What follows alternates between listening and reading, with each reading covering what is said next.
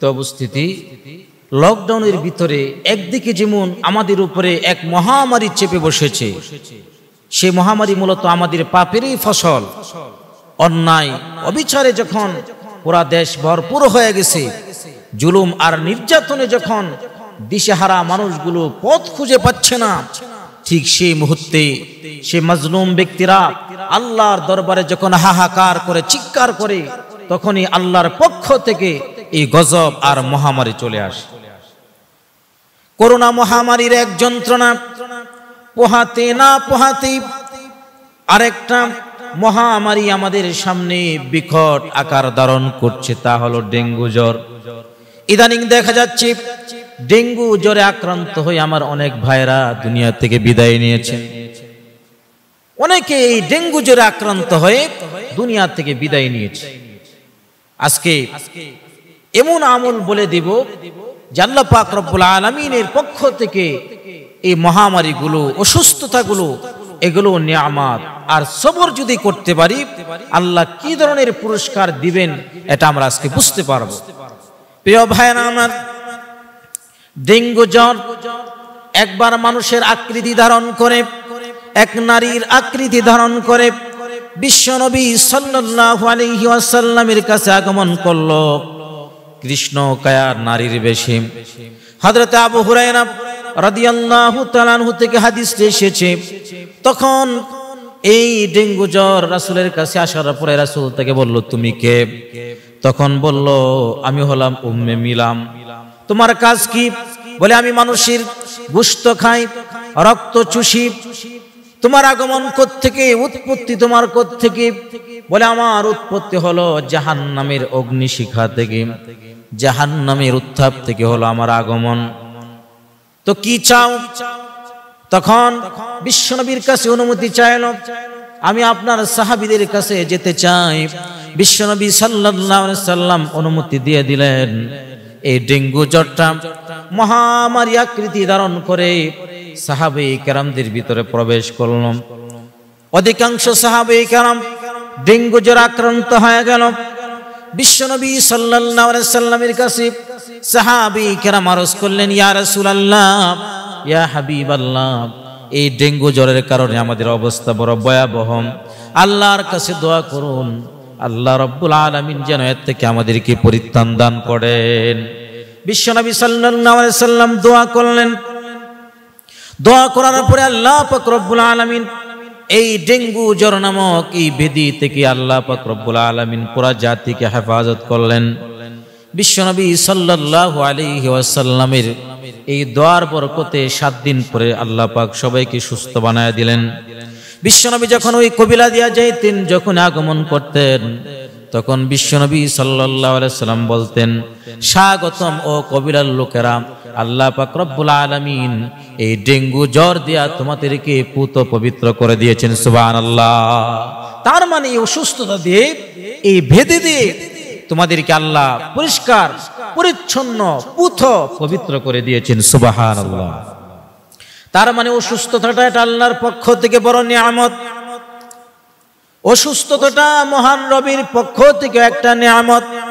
অসুস্থ হওয়ার দ্বারাতে আত্মার বিধিগুলো দূর হয়ে যায়, স্বচ্ছ হয়ে যায় আত্মা। পরিষ্কার, পরিচ্ছন্ন হয়ে যায় কলব। মানুষের গুণাগুলো আল্লাহ পাকরবুল আলমিন পবিত্র করে দেন। এজন্য অসুস্থ হলে আমরা মন গাবড়িয়ে যাব না। অসুস্থ হলেই আমরা হতভম্ব হয়ে যাব না। ভীত, সন্তুষ্ট হয়ে যাব না। কারণ অসুস্থ ব্যক্তি মহান রবের কাছে বড় দামি। বিশ্বনবী সাল্লাহ সাল্লাম বলেন, অসুস্থ ব্যক্তি যখন অসুস্থতার কারণে যন্ত্রণায় ছটপট করে যখন আহ আ শব্দ তার জবন থেকে উচ্চারিত হয়, আল্লাহ পাক রব্বুল আলামিন তখন ফেরেশতাদেরকে বলে দেয় অ ফেরেশতারা আমার বান্দা বান্দির আহ শব্দের বিনিময়ে তার আমল নামা সুবাহান আল্লাহ বলার সব লিখে দাও। যদি বলি সুবাহান আল্লাহ তার আমল নামাই আহ আহ শব্দের পরিবর্তে সুবাহান আল্লাহ বলার সব দিয়ে দাও। কোন অসুস্থ ব্যক্তি অত্যাধিক অসুস্থতার কারণে অনেক সময় খিচুড়ি মারে, শরীরের উপরে খিচুনি উঠে যায়। বিশ্বনবী আলাইহি সাল্লাম বলেন প্রতি খিচুনিতে আল্লাহ পাক রব্বুল আলামিন তার আমল নামাই লা যে সব হতো, সেই সওয়াব তার আমল নামায় দিয়ে দেওয়া হয়, সুবহানাল্লাহ। অসুস্থ ব্যক্তি তার যন্ত্রণার কারণে অনেক সময় শ্বাস প্রশ্বাস নিতে কষ্ট হয়ে যায়। শ্বাস নিতেও পারে না, ছাড়তেও পারে না, বড় কষ্ট হয়। বিশ্ব নবী সাল্লাম বলেন, এই কষ্টের কারণে প্রতি শ্বাস নিঃশ্বাসের বিনিময়ে আল্লাহ তার আমল নামায় সদকার সওয়াব দিয়ে দেন, সুবহানাল্লাহ।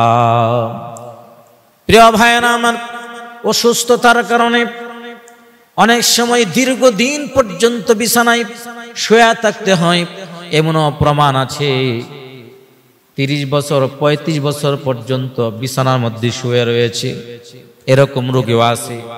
শোয়া থেকে উঠতে পারে নাই। প্রস্রব পায়খানা শোয়ার ভিতরেই তাদের যে কত কষ্ট হয়, কত যন্ত্রণা, ওই রোগাক্রান্ত ব্যক্তি ছাড়া পৃথিবীর কেউ বুঝতে পারে না। এই জন্য আল্লাহ নবী আলাইহি সাল্লাম বলেন, দীর্ঘদিন পর্যন্ত এই বিছানায় শুয়ে থেকে কষ্ট করার কারণে আল্লাহ সুবহানাহু ওয়া তাআলা তার আমল নামাই সারা রাত্রি দাঁড়ায়া তাহাজ্জুদ পড়লেই জি সব হতো। তার আমল নামাই তাহাজ্জুদের সব দিয়ে দেন জিরা সুবহানাল্লাহ। আমার ভাইয়ারা, অসুস্থ ব্যক্তি যদি আল্লাহ তাআলার কাছে অসুস্থ অবস্থায়, লা ইল্লা সুবহানাকা ইন্নী কুনতু মিনাজ এই দোয়াটা যদি চল্লিশ বার পড়ে অসুস্থতা থেকে সুস্থ হওয়ার সাথে সাথে আল্লাহ পাক তার জীবনের সব গুণাগুলো মাফ করে দেয়। প্রিয় ভাইরা আমার, অসুস্থ ব্যক্তির দোয়া আল্লাহর দরবারে কবুল হয়। এজন্য বিশ্বরবীর একটি সুন্না হলো, যখনই কোনো ব্যক্তি অসুস্থ হয়ে যাবে, তাকে দেখার জন্য যাবেন। রাসূলের সুন্না আর ওই অসুস্থ ব্যক্তির কাছে দোয়া চাইবেন। কারণ ওই অসুস্থ ব্যক্তি তখন তার কলপটা পরি, তার পরিশুদ্ধ থাকে। কলপটা পবিত্র থাকে।